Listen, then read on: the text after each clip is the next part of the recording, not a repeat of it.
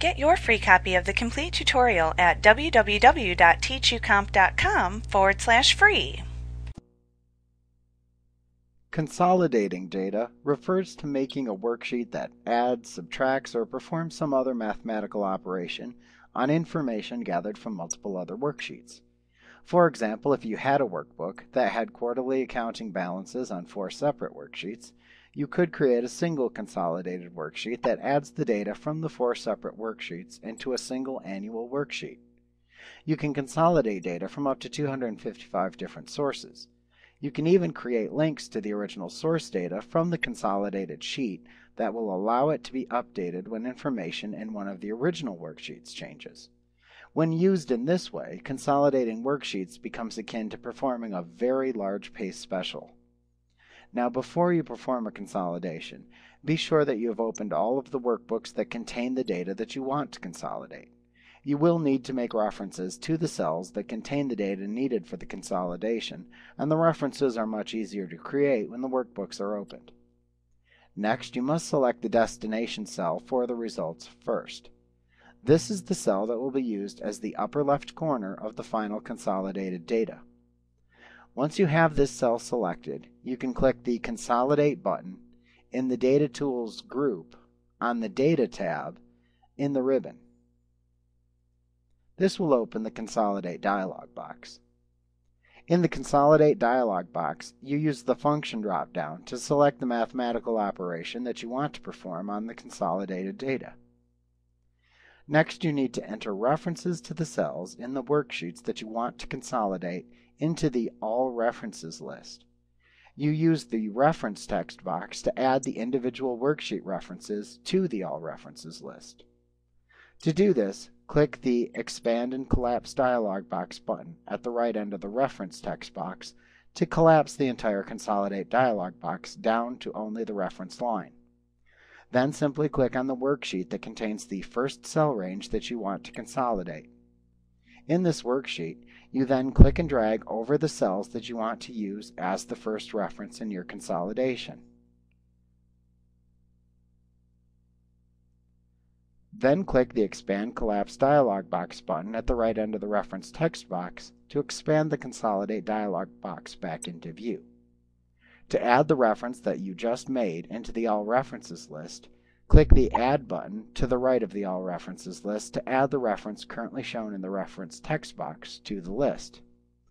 Then repeat the whole process of selecting cell references until you've added all of the cell references needed by the consolidation into the All References list.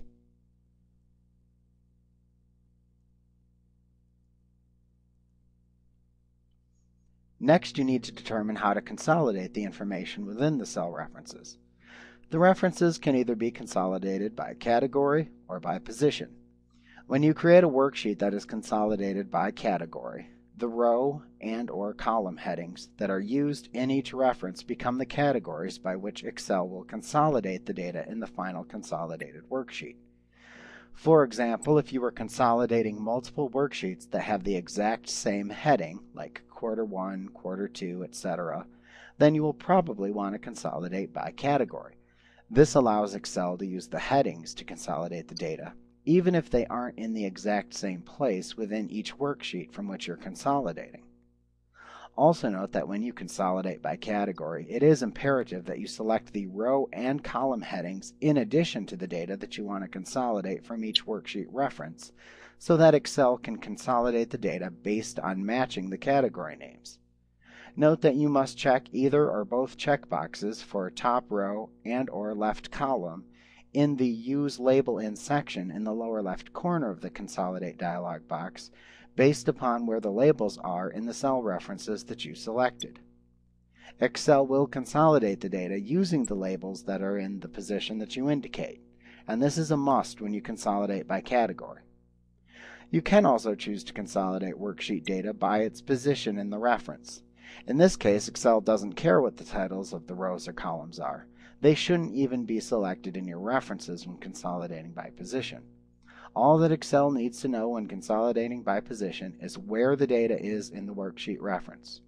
If consolidating by position, you must use worksheets that have the data that you want to consolidate in the exact same position in each referenced worksheet in order for this to work properly and have the resultant consolidated data have any worthwhile meaning. So when using this method, Excel simply performs consolidation of the data based on its physical location, or cell addresses, within the worksheet references that you select. Note that in order to consolidate by position, you simply do not check anything in the Use Labels In section of the Consolidate dialog box. Finally, you must decide whether or not to check the checkbox for Create Links to Source Data. This checkbox, if checked, will create a link back to the original data sources within the final consolidated data, updating the consolidated data when the original data changes. If you choose this method, your resultant consolidated data will contain actual references back to the source data cells. These inserted columns or rows contain a reference to the original data. Excel will then outline and hide these references so that the consolidated data appears like a normal outlined worksheet.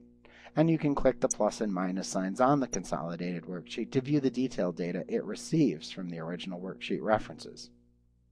Note that if you do not check the Create Links to Source Data checkbox, then Excel will simply insert the consolidated data values into the destination area. However, if values in one of the original data sources changes, it will not update the consolidated data. So once you're ready to perform your consolidation, just click the OK button in the Consolidate dialog box.